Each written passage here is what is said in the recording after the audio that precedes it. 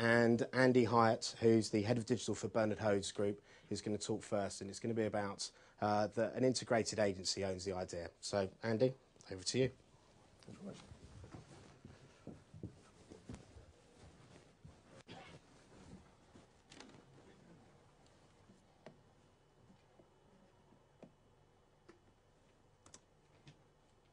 Okay. Hi, good evening. Um, I thought I'd start with a contention because at least you can have a point of view that you can argue against. But principally, um, the big idea, the notion of the big idea is all about strategy. Um, and the point is that strategy without execution is worthless. There's no point coming up with a big idea if you can't execute it, if no one can see it. But the other side of the coin is that execution without strategy is also meaningless. There's no point coming up with lots of great, fantastic tactical campaigns if there's no salience behind them. Um, and the, the whole sort of the underlying principle behind this entire sort of five-minute presentation is that. Um, started off with this. It's quite an, an interesting theory because when someone asked me about the big idea, I started to, as you do, googling it to find out sort of who actually coined the phrase. Um, and I went to LinkedIn and went to LinkedIn Answers and, and asked the question. and Thought, well, let's just glean some opinion, get some sort of uh, thoughts about sort of what people think. And the, the first thing is, no one really understands what the big idea is. A lot of people talk about it, but no one has a key definition. Um, but the, the, sort of camps tend to split into sort of three areas. The first one, and I'll go on to the bottom left-hand side, this is quite an interesting client view, which is really that the big idea is meaningless. It's all about sort of men comparing penis sizes. You know, this, this is a classic arrogant agency things um, that you should just shut up, get on with it, and do the work for the client. I'm sure that when we come on later and start talking about the client, if that argument, I'll be, I'll be interested to see how one goes forward. Buster's smiling there. Um, the next one on, the, on the, the, the, other side over there is about actually the, the, digital and integrated agencies. They don't think strategically, they think in tactics. They may be very good at executing um, tactical campaigns, um, but principally they, they, they think just in terms of their channel.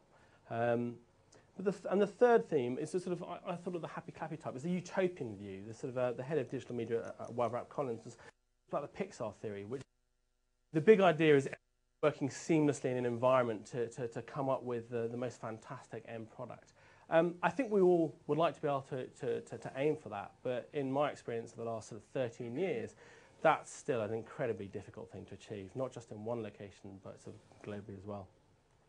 Um, George Lois, apparently, or so he claims, he's the chap who coined the phrase, the big idea.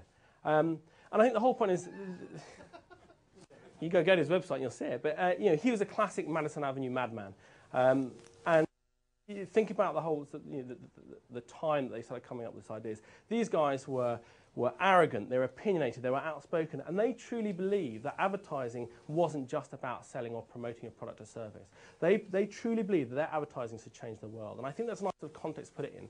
They, they wanted to create this mystique about advertising that raised them above anyone else. And the thing is, is, is, they enhance this mystique with coming up with these real iconic campaigns. And I use MTV, this is sort of the first one in the 60s, the I Want My MTV campaign. This is the first thing that sort of, um, George Lois came up with, where he took something that was a mandatory, the MTV logo, and said, you know what, if we want to reach a younger audience, this is what we, we're going to have to change and completely reinvigorate the way we treat the logo. And the thing is, these campaigns were incredibly successful and they came up with what seemed to be like an approach for advertising, which is really you come up with a killer strapline and some great visuals, and they usually did the trick. So I don't know how many of you remember the Heineken adverts, but it's the Heineken refreshes the parts that the beers cannot reach. Um, and then audience started becoming hooked, and so the brand the advertising itself became a form of engagement. I had to actually put on the right hand side what this was, because when I was showing this to some of my sort of digital team, they didn't actually realise what this was. They had never seen the Nescafe Gold Blend ads of the 80s. So, um, but to me, it started representing a change in the way that advertising communications was going on. So here, the advert actually became a mini soap. And people will start to tune in just to see the advert. When you know, Nescafe would release and say, we have an advert going out at this time. And people would tune in just to see the advert, not the program. And as the audiences became hooked, and as the, sort of the process developing advertising became hooked, the campaigns themselves became more adventurous. So here's one from the 90s. Uh, anyone remember this one? Anyone know this one? Yeah, the Tango ad. Again, their approach was, was to sort of take the approach to, to lager advertising and apply it to soft drinks. It may seem a bit trite now, but then fantastic, real sort of groundbreaking stuff. And then came the 90s, so the, the sort of the noughties.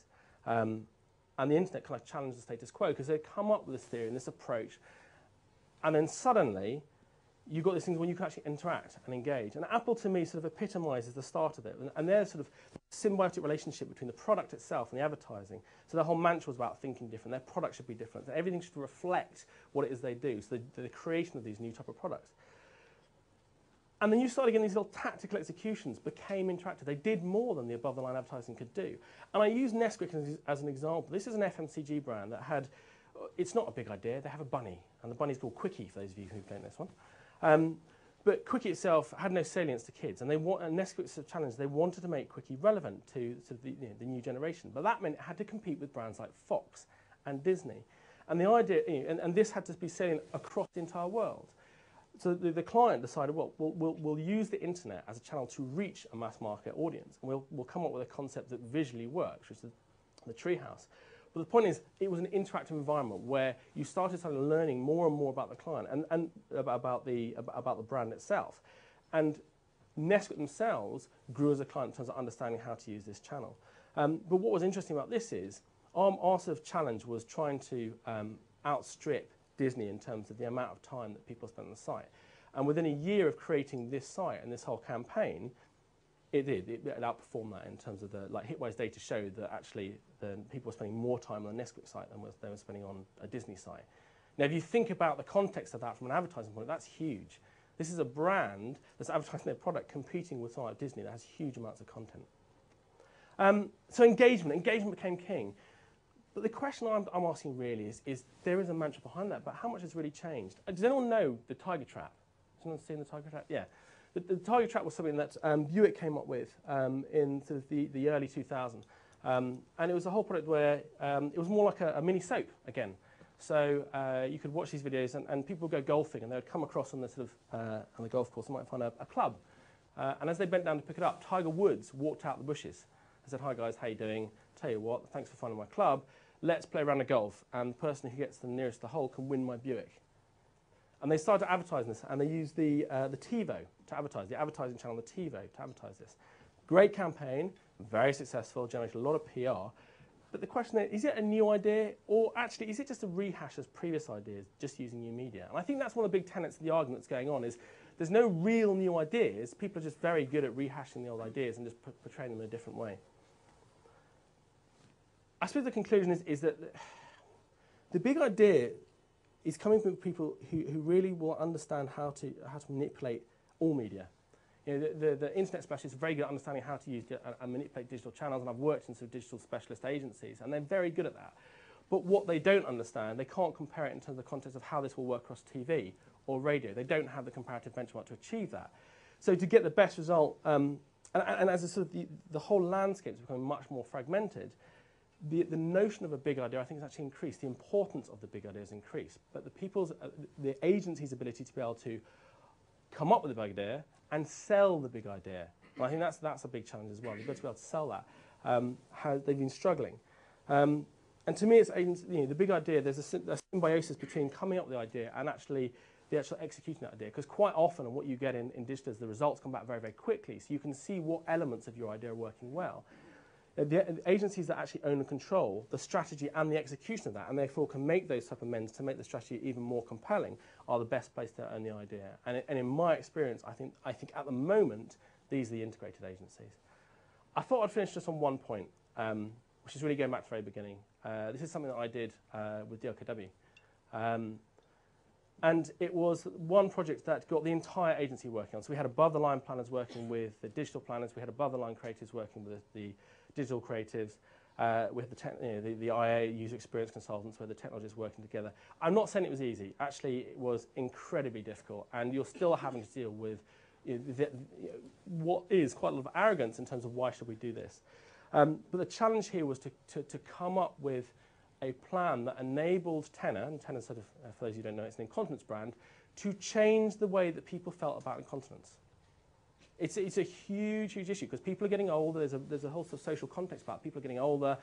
Incontinence actually is a lot more common than people think.